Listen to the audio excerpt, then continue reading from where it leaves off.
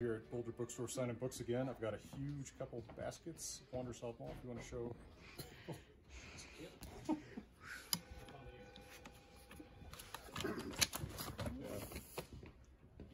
So uh, hopefully we won't run out as fast this time. But uh, if you go to the Boulder Bookstore website, which I'll put a link to below, uh, just enter in the comments that you want a signed copy and uh, they will send you one anywhere in the world probably. So thanks and from beautiful Colorado, all the best. So we have Professor Henrik Williams here from the University of Uppsala. Uh, as I was mentioning before, he came on screen. Uh, Professor Williams is probably one of the world's leading, leading living runologists. And as I learned uh, two or three years ago at SAS in Minneapolis, you also did the runes for the Minnesota Viking Stadium. That I did. Yeah, so that's a claim to fame. Mm-hmm. My claim to fame. So tell us a little bit about um, this recent article on the Rök runestone. Well, the, the Rök runestone itself, of course, the greatest mystery in runology we've had for about 150 years. And there have been any number of attempts to propose some kind of interpretation of it, and various uh, proposals have been put forth. Um, in 2007, no, I should back up a little bit. Uh, the, the general understanding from 1958 was that there was a verse on the stone dealing with the Theodoric the Great, the mm. Gothic king who ruled in Ravenna the, in the sixth century. But this was questioned in 2007 by a Gothenburg professor, Bo uh, who, by reading a dip, just a single rune differently, he instead of uh, Theodoric ruled, he gets rode on the horse, did the champion. And this set off the interpretation in completely new direction. I have to say that I listened to him in Oslo proposing this, and I thought it sounded like pure BS, to be honest. Okay. Um, but nine years later, another Gothenburg professor, Per Holmberg, wrote an extensive article in Futhark, the same journal that we published in now, where he took this whole thing one step further because Bo Ralph had identified the very first riddle on the stone that had been previously not understood. It deals with two, um, what's the word I'm looking for? Booty, war booties that had been taken 12 times between two people. Mm. And previously, that was just a legend. Uh, no one could give any explanation of that. But Ralph found that this is actually a riddle well known from Anglo Saxon riddles, the Exeter Book and it deals with how the sun and the moon steal each other's light. Oh, okay, I see. Okay, so there's a sun moon thing, and Per Holmberg was able to take this solar metaphor one step further. Then he had other ideas about how to read the stone, that you should follow the direction of the sun and so forth. A quite complicated interpretation that personally I didn't put much credence to. But um, he's a very constructive person. And after publishing this first article, he got some money to do further research on the Rökstone. And he assembled a small team around him. The archaeology professor Bo Gräslund, who's written a great deal on the climate crisis in the sixth century, mm-hmm. and also the history of religion professor Olof Sundqvist in Stockholm, and then finally myself as a runologist and the person who has to do the math and you know make sure that everything adds up linguistically and so forth and with the runes. And we worked for two years meeting almost every month for a day sitting in uppsala around a table and just discussing possible interpretations. And from the beginning i did not believe that we would ever arrive at a better solution than the established one. But by small measures we found our way through this maze of different riddles and could find a consistent interpretation dealing with the sun and the overriding motive is what will happen at the end of the world. Okay. And because remember, the Rökstone is a memorial runestone, like almost all other runestones from the Viking Age. And it's after the son, uh, Varmoder, and he, his father, Varin, is the one who commissions or carves the stone himself. And why would he do that? Well, there is a poem, the Eriksmal, which deals with King Eirikr, who is winning a battle, is doing very well, but he's killed while doing this. And he then comes to Odin and he's very pissed, excuse my French, by the fact that you know, We speak French here. gosh, I was winning here. You know, why did why did you let me die? And Odin then says, "Well, I need all the best warriors for the final battle, at Ragnarök, the end of the world, against the wolf Fenrir and the other dark powers." Right. And this is, I think, the reason why Odin carved the stone in the first place. He wanted to give meaning to his son's death. I presume the son died prematurely, and they use a very particular word. The word fagir means doomed to die about the son. My, and that always puzzled me because if, say, he was suffering from some lethal disease, it's not like you run off and carve a runestone because someone is sick. Right. And if he'd been killed in battle or something else, he would not have been called doomed to die. But if you believe that he was, from the very start, called by Odin to participate in this battle, then he would have been doomed to die. And Right. after death, he would still serve a very meaningful purpose. And the stone then deals with the different motives, what will happen uh, at the at this last battle and when the end of the world and the new world, because what recurs is the sun is eaten by this wolf, Fenrir. But before she is eaten by the wolf, she gives birth to a daughter, which will be the new sun in the afterworld after Ragnarök. Says, we- says Valtr the Small. Yeah. Also, there's a reference to some tragedy that happened nine generations ago. And that was always thought to refer then back to um, Theodoric, because that would be 270 years af- from the 530s when he ruled to around 800 when the Rökstone is erected, if we're correct about that. Now, when we remove Theodoric, that needs to refer to something else. And we know for a fact that there was this major climate catastrophe in the 530s. There were a number of volcanoes on the North American continent that had eruptions and spread ashes all over the atmosphere. And in Scandinavia, as much as half of all the people died. Hmm. And we, this is the weak point. I, I would have to admit that. Around 800, there are certain events. There is a partial solar eclipse, and there are some other atmospheric events that we think may have sparked a renewed anxiety. I mean, everybody must have remembered about this terrible ordeal nine generations ago, and they something happens here, and the sun's death may have sparked a renewed anxiety about perhaps the climate catastrophe is coming back. Just like a lot of people these days believe that Christ will return any moment now, and they see the wars and the you know all these bad things happening here are the signs of his return. So I don't think that it's um, going out of line to think that people could have been having this anxiety back then too. Although, of course, we cannot prove that this is a fact. We can't prove what people thought, but they do refer to something nine generations ago. So if I may paraphrase uh, you real quick, make sure that, that I'm crystal clear on what you're saying. We have nine generations ago a memory that something had happened that was somewhat like the prediction of Ragnarok. That Yes, is recurring now in the 800s. A man loses a very favored son in battle and perhaps wonders if something that had happened nine generations before is about to recur. yes. Is that about right? hmm Okay. Now, there's a problem here, of course, that, and we have ourselves to blame because in our press release, we did make a point of this whole climate catastrophe, but a lot of news media have then tried to bring that into the modern world, saying that the Vikings feared, you know. Right. Yeah, and of course, we're not making any such claims. Yeah, I've never seen the Old Norse word for carbon dioxide. Uh, No, I don't think there is one. actually.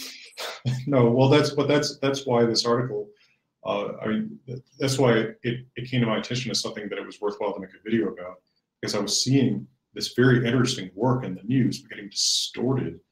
Um, you know, you know, every, I think people today they see something like climate crisis, the only thing they can even think of is is today, and not realizing humanity has been through, no doubt, thousands of climate crises, right? Um, and and sort of unable to think about anything except in the context of today. Um, Yeah. Which is not to say that this isn't a fascinating piece of work, but it's not. It's not prophecy. I should point out that until quite recently in most countries, every summer was a potential climate catastrophe because if you just one really bad summer, you know, with one bad harvest, a lot of people will starve. Right. So this is a constant, you know, I can even remember when I was a child and the farmers were always, it was either too dry, it was too wet, or, you know, the sun didn't shine or it shone at the wrong moments. And, and of course, farmers to this day are still worried about that. And if we would have another major eruption, we had one in 1887, was it? The Krakatoa down in Indonesia. And that spread ashes over most of the world. And there were a number, I think there was at least one really bad summer there, and, and, and the harvest didn't come out as the way they should. And even today, if we had a really super major eruption, many volcanoes, and we were without summer for three years, I mean, how would our society react? Right. Right. There would surely be starvation. There would surely be violence. It would look a lot like Ragnarok. Yes, it would. Yeah. Well, that is that is well put. Thank you very much for clarifying about that. Um, I do see a couple comments over here. I don't know if I've seen questions yet. Um, I would like to pose one question um, that occurred to me based on something that I've been asked a lot on Patreon lately um, about the transition from elder to younger Futhark, because the Rök runestone is a really fascinating um, part of that story because it's mostly younger Futhark, but you have that, that those is it two or three lines in Elder Futhark. Yes. But it looks like to me that the carver, uh, I was looking at these lines the other day when I was thinking about this, that the carver was just substituting Elder Futhark runes for younger Futhark and not using it as the Elder Futhark alphabet. If that is That is, that's absolutely correct. But it is amazing enough that they are even using these older runes. We have Yeah. single instances of runes being used in, in Viking Age inscriptions of the Elder Futhark. But this is the one time when more than, I think, one or two are used, and they're actually used to spell out a message. But as you point out, what they've done is it's just an encryption thing, where they've said, okay, I have I have a K. I would want, want to write a K, but I'm going to use a letter or rune from the Elder Futhark to replace that. And then they use the, the G rune because that's a, in the, the Viking Age Futhark, they would be the same. Right. And so it spells out basically a younger Futhark message anyway. But it's it's one of five systems of encipherment. Right. Will you speak a little bit about the, the encipherment on this stone because that's such an intriguing part of it? Yeah, um, depending on what order you read them in, if it could be that this Elder Futhark thing would be the first system. And then there are three different systems of position encryption that what you did with the Futhark, you divided into three um, groups.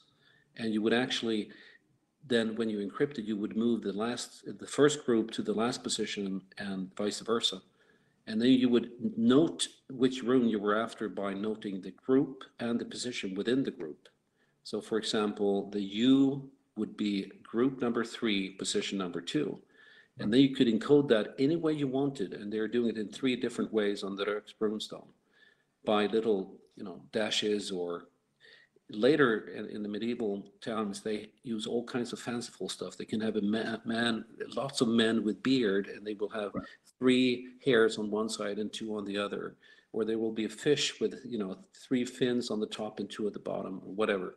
Right. This this would then be just one room And exactly why they go through all this trouble, i don't know. And um, so there are three different sets of these uh, position type runes, the elder runes, and the final one is a simple substitution cipher by which where you choose not the rune but the one to the right of it. And Hmm. that I think is well known from I think it's called the Caesarean cipher or something is well known from classical sources too. It's not very complicated at all. Instead of writing A, write B and so forth. Why they Right. do that? We have other. Yeah, other inscriptions, later Viking Age inscriptions, they also encrypt stuff, but it's usually at the very end, and it can be like the signature, or it can be something that is not necessarily vital information to get the basic memorial formula, but it can be some extra stuff that where they're upping the ante, making it slightly more difficult to interpret. But it seems to be for it purposes of entertainment or showing off or something. And why would they, they would have to do that on the runestone, which is so difficult to start with? I Right. refuse to believe that many people could read it at all. And the ones that could read all of it must have been very rare. Well, and I mean, to me, it seems a little bit like what do you get for saying it? I mean, is, is the satisfaction the same as finishing a Sunday crossword? Right? I mean, is it is it something like that? Like like the just just the intellectual feat is itself sort of a reward for the person who can do it? You can just imagine our satisfaction when we thought that we've arrived at a solution to this puzzle. I mean, it was tremendous. And I think that people at the time, contemporary people, but it makes me suspect, although I have no way of proving this, that perhaps the audience isn't primarily people around the Rökstone, but rather it's a message to the gods that, you know, mm-hmm. yes. And I think, and again, I don't have any evidence of this, but I think that this, what we see in the runestone, might very well be part of the burial ritual for the dead son. Hmm. That they would repeat part of the mythology that we point out is also found in the Eddic poems, especially Vafthrûdnismál, where they also count stuff, they count the memories or the, the, these things. And I think that they've selected the ones that have a bearing on the situation, this, uh, this and that's why they jumped from the second to the 12th, that they had a sort of stock of memories that they would choose from. And this one, these ones apply in this particular situation. See, well, and that was that was a very interesting part of your your, your paper was seeing the the sogum mini. Right? We tell a memory. Yeah. Um, seeing that as as as a numbered sequence of uh, sort of riddles, sort of sort of callbacks to Vafthrûdnismál or something related to Vafthrûdnismál. Yeah. Do you postulate a direct connection to Vafthrûdnismál or just to a, to a cognate mythic? Uh, yeah, no, not a direct, because first of all, we only have, of course, the Eddic poems noted down in the 13th century. Right. And this would be uh, almost half a millennium after the Röksrundsholm. But I think that, and I don't think that's strange, that they would have this basically same mythology in East and West Scandinavia. But since we had so few sources to the Eddic mythology and so forth, and all of the ones that we have are late Viking from the 11th century, um, I think that why wouldn't they have this earlier? And the, the Gotlandic picture stones, they certainly seem to bear scenes from Eddic mythology, sure. although it's always hard to conclusively prove a pictorial representation if there is no text, and there sure. not But you have the eight-legged horse and, and other pretty yeah, obvious connections. And some of those are as early as the seventh century. So we're not, it's not inconceivable that virtually the same mythology would be around around 800 as it is on Iceland in the 9th and 10th century. Makes good sense. I see a question here from uh, Flint Ironstag. With this new evaluation of the Rökstone, are there any other runestones or mentions in text that might be more climate minded than previously considered? Um, of course, I've looked for that, and I've started by looking for runestones that deal with the sun. Uh, and they're actually one that we don't mention in our, in our article, but as a reward for you to you for doing this. And of course, we will need to publish some kind of monograph where we explain in detail everything that we have thought about. Not that far, about 60 miles from the Rök runestone in the same province of Östergötland, there is another not very well known runic inscription. It's quite small and it's on the bedrock and it's called the Ingelstad inscription. And it has a very strange message. It says that um, Salsi carved a sun or he made a sun, hmm. S-U-N. And, and then it says Dager, or actually it's the old D rune, which it used day, and day, of course, Dager is, is the name in Old Norse, uh, carved this into the into the bedrock. And, you know, what does this mean? Well, on the same surface, slightly below the inscription, there is a hole, a round hole into the bedrock. And around that hole, there are rays. And it very much looks, and within the rays, there are three dots. And um, an unpublished proposal of this says that what we have here is very obviously a, an eclipse of the sun. Hmm. And when you have this eclipse of the sun, you can see stellar constellations in the corona. I've never seen this myself because we haven't had any eclipses around here in my lifetime, but that's it's a well-known phenomenon. And this person tried to date the inscription by identifying that particular constellation that you could see in this uh, total eclipse of the sun. Huh. Um, and at the, on this over over the, the the inscription, there is a sword Hmm. Now, these are these things never occur in any other runic inscriptions. They're totally strange. Uh, and I've been told, these are not things I know, but that swords are common representation for comets. Hmm. We're, we're dealing with the early Viking Age, that much is obvious, but I still think that this inscription I'm talking about is at least 100, perhaps 150 years later than the Röksö runestone. But it proves to me that at least people were, the sun, the sun is, you just can't get by that. It has to be a solar eclipse. There is no, other explanation here. People were interested in this phenomenon. Of course. I mean, it's, it's, I've experienced it myself uh, three years ago. Uh, it is a profoundly weird thing to live through, even when you know it's going to end. Yeah. And if you Uh, don't, it's got to be really scary, right? Yeah. I think the next, I, I think in a year or two, there's going to be a total solar eclipse in Texas, by the way, if you want to come. Uh, I should do that. Uh, look it up. I never one myself. It's, I, there was one in, in Wyoming three years ago. It was really amazing.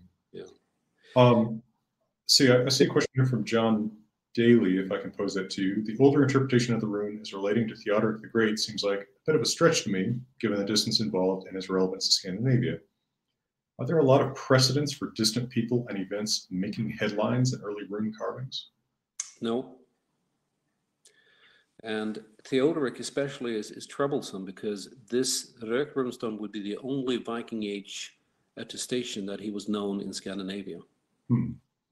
Um, we There do are have, poems that mention him, but that's of course written later. Well, there are Eddic poems that mention him, right? And the two, for instance, but that is of course quite a bit later. uh, do, the, do they mention Theodoric? I, they mention other Gothic kings, but I can't remember they mentioning him. do they? Records in Gudrun and the two. Okay, well, then I stand corrected. I forget what I said. That was a mistake. Okay, So well, he- late Eddic yeah. poems, so Yeah, um, I need to check that up. Um, but the problem is that we've had two types of interpretation previously to the Rök runestone, and the standard interpretation, as I said, from 1958 by Elias Wessén, is basically an interpretation that makes good sense linguistically. Every word is sort of explained. Yeah, it can mean that, but there's absolutely no consistent uh, narrative throughout the inscription. And his explanation is that Vorin, the father who carved the stone, is basically trying to show off his knowledge. His dead son, who perhaps was the inheritor of this knowledge, now isn't there anymore. But I think it's a pretty poor explanation because, first of all, why wouldn't we know any of these stories from anywhere else except for Theodoric? sure. And secondly, it's not enough, even though the Rök runestone is the longest by far of any runic inscription. It, you just get smatterings of, of information in there. There's just no way that you can get the full set of mythological knowledge. So, okay, he could be boasting and people would be very impressed, but that would bo- more or less be it. Mhm. And considering the effort that goes into this, I mean, we're talking of something incredible. If you ever get a chance to see that Rök runestone yourself, people listen to this, by all means do so. It's worth traveling long distances to. It's it's it's huge. It's humongous. It's it's just incredibly impressive, and it must have taken forever to carve. Oh, for sure. Plan. That it, it does seem like a project of of um, many spare hours over a year or something like that. Yeah, and I don't believe in the explanation. Just doesn't. It isn't sufficient to me, at least. It's not credible. Uh, there, there have been explanations that are sort of consistent. They have a narrative that the rest of the tales deal with revenge. That Vorin is trying to get people to take revenge on his dead son. But again, they don't add up. They don't add up linguistically. They they refer to things that are just too incredible. Some Hmm. people would say that we're certainly stretching it, especially towards the end of our interpretation. This is quite correct. But I think that for the most part, we have a quite credible storyline. And I think that there should be a storyline in such a long text as this one.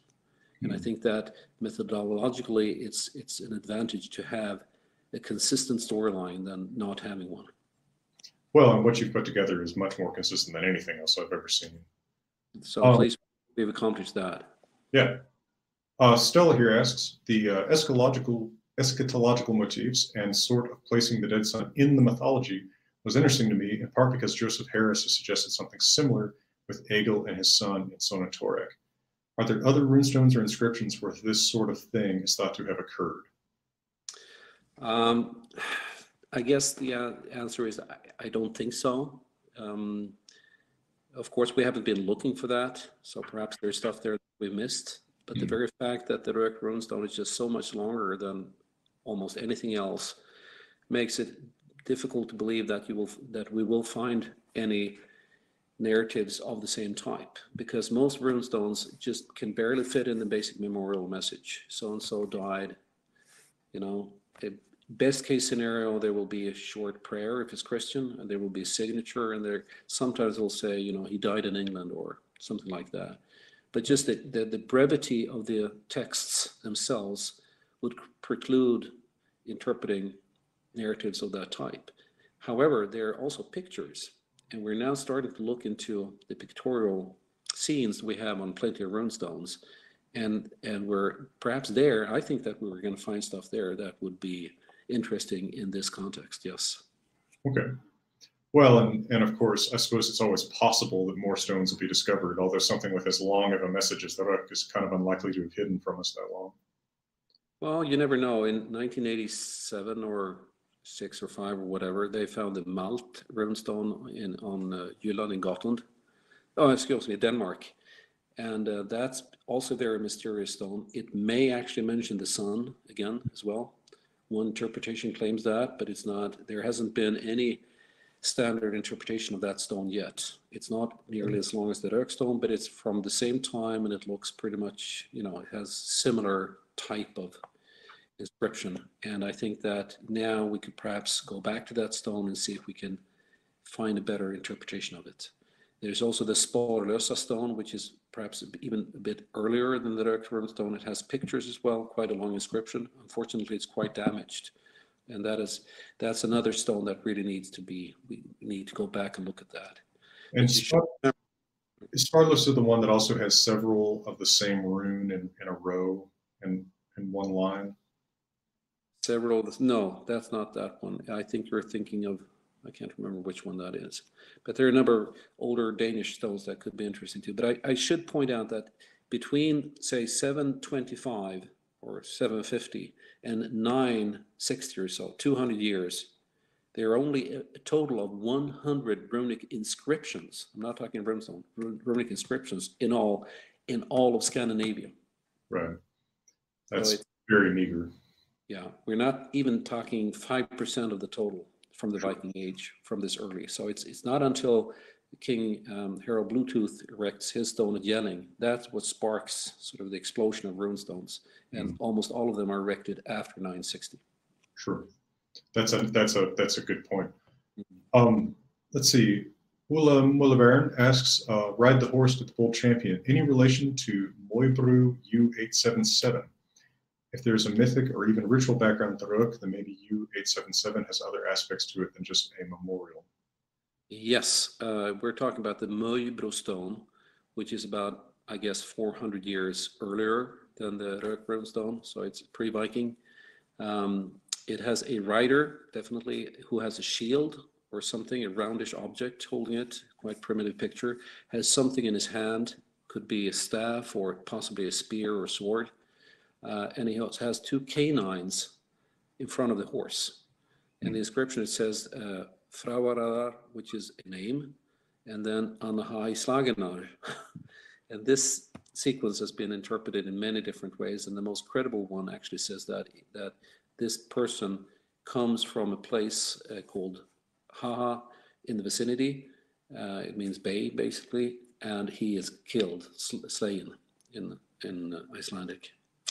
Um, the picture itself could represent, I guess, the person dead, but we don't have any single instance where we can prove that the picture on the brimstone refers to the person mentioned on the runestone. I find that interesting. Sure.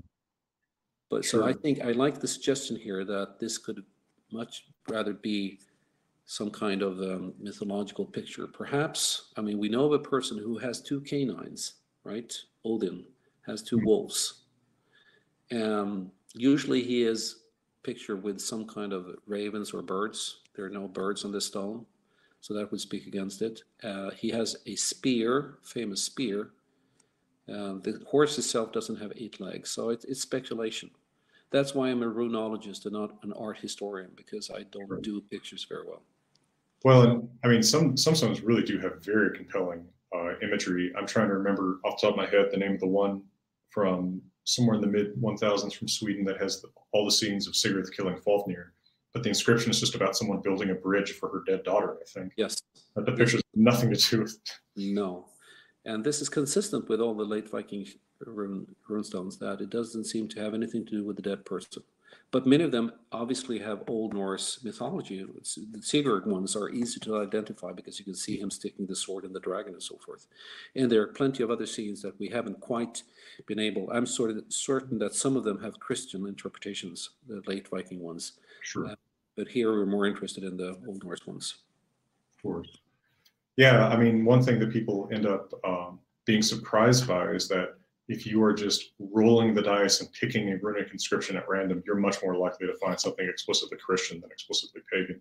Yes, you do. There are very few explicitly pagan inscriptions at all, perhaps a dozen or so. Do you think that's a matter of them not surviving, or do you think that they simply weren't being produced? Well, obviously, there weren't very many runic inscriptions before Christianity hit Scandinavia. It's sort of a, a rare cultural thing. You have the runic inscriptions, but it's not until Christian faith comes around and they're looking for something. How do we best um, flaunt our faith?